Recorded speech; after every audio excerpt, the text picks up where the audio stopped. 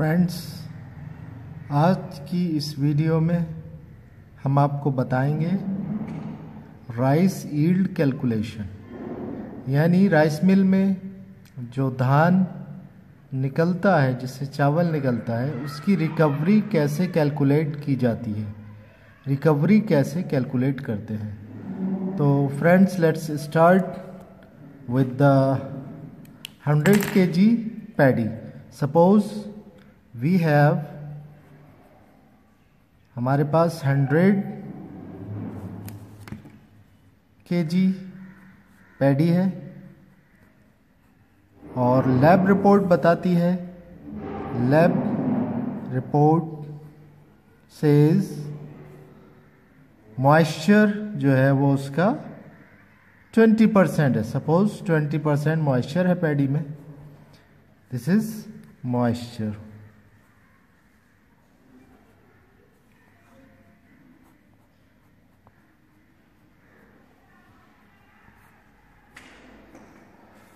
So this paddy will first pass through the dryer, dryer process. The desired moisture after the paddy is dried. जब paddy dryer से pass होकर सूख जाएगी तो उसका जो आउटपुट उसका फाइनल जो मॉइस्चर होगा वो ऑलमोस्ट 12 10 टू 12 परसेंट होगा। इट मीन्स पैडी ने कुछ वेट लॉस किया यहाँ पर। पैडी ने कुछ वेट लॉस किया। अगर 10 परसेंट मॉइस्चर कम हुआ तो 10 परसेंट पैडी का वेट कम हुआ। और 12 परसेंट अगर मॉइस्चर पे हमने पैडी उतारी ड्रायर में से इट मीन्स 8 परसेंट मॉइस्चर कम हुआ तो 8 परसेंट पैडी का वेट कम हो गया। सपोज़ 12 परसेंट मॉइस्चर पे हमने ड्रायर से पैडी को उतारा। इट मीन्स 8 परसेंट हमारा मॉइस्चर कम हुआ ड्रायर में। 8 परसेंट वेट जो है वो पैडी का कम हो जाएगा। 8 परसेंट वेटी वेट कम होने का मतलब है 100 के में से 8 के आप माइनस कर दीजिए। दैट इज़ 92 के जी पैडी का वेट रह जाता है अब। Now this paddy will pass through the rice mill ये पैडी अब राइस मिल में जाएगी. The husk will be remove husk remove इसका छिलका रिमूव हो जाएगा. छिलका जो है दैट इज़ हस्क जिसको हम कहते हैं भूसी, ये 20 परसेंट होती है. यानी 100 किलो के अंदर ये 20 परसेंट हस्क निकलती है, भूसी. तो 92 के जी अब हमारा पैडी है, क्योंकि 8 परसेंट मॉइस्चर कम हो चुका है तो 92 के जी का 20 परसेंट अगर हम मोटा मोटा पकड़ें तो 18.4 के जी हो रहा है। तो हम सपोज़ 18.5 के जी इसमें से हस्क माइनस कर देते हैं। तो 20 परसेंट हस्क 100 के जी की हो जाएगी 18.4 के जी now we will uh, rem, uh, remove or minus this weight from 92 kg जो हमारा पैडी रह गया था उसमें से हमारा 80 18.4 kg जो है वो ट्वेंटी परसेंट हस्क रिमूव हो चुका है।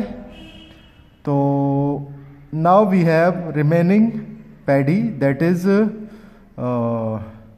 seventy one point 6 kg.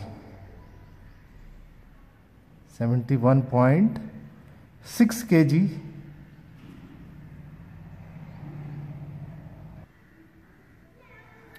Sorry it will be 73.6 kg. 73.6 kg. This is the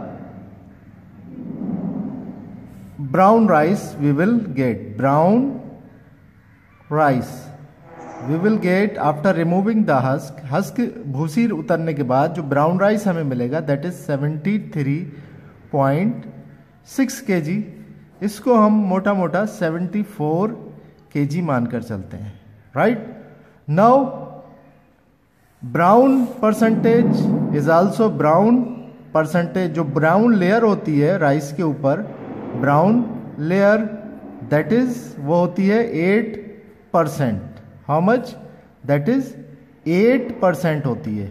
आठ परसेंट एट परसेंट अगर हम सेवेंटी फोर के जी का एट परसेंट अगर हम अब निकालेंगे तो ये आएगा हमारा eight percent of seventy four will come out to be uh, around 6 kg.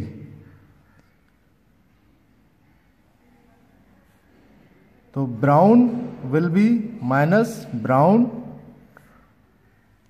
rice brown निकल जाएगा। 8 percent eight percent rice brown come out to be around six K G मान लेते हैं मोटा मोटा। सिक्स से सेवन के जी निकलेगा राइट एट परसेंट निकलता है। Now the final weight of remaining rice now the we will what we will get the product हमारे पास क्या प्रोडक्ट मिलेगा? व्हाइट राइस ब्राउन राइस का हमने पॉलिश उतार दिया। ब्राउन निकाल दिया। Now we get white rice हमें व्हाइट राइस मिला।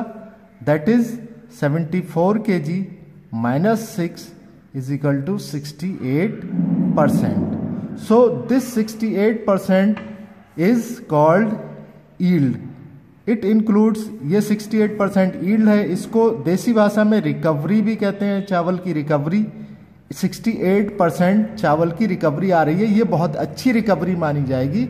अगर इसमें कोई और इम्प्योरिटीज़ नहीं निकाली गई हैं, झरने वगैरह में कुछ पत्थर, कूड़ा, कबाड़ा जो धान में अक्सर निकलता है, वो भी कुछ एक आध किलो निकल जाता है। तो 68 परसेंट की जो रिकवरी है ईल्ड है, वो बहुत अच्छी ईल्ड मानी जाती है।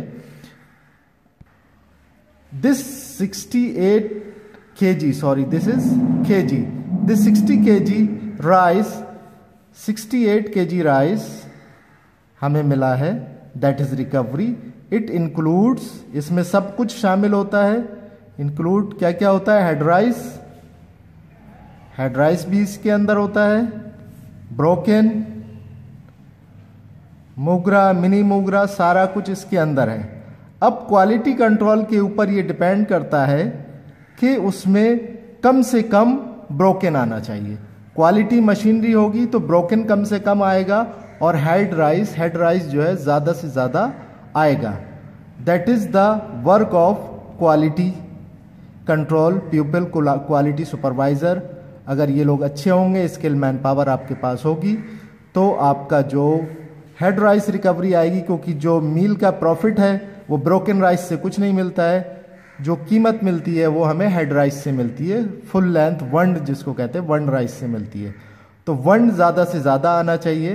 इस 68 के जी में हमारे पास, ज़्यादा से ज़्यादा हमारे पास वंड होना चाहिए। एटलीस्ट एटलीस्ट हमारे पास 45 के जी टू फिफ्टी के जी वंड आना चाहिए। Thank you very much I hope you got all the points in this process. How to calculate calculate the recovery and yield. Please subscribe the channel and like this video. Thank you very much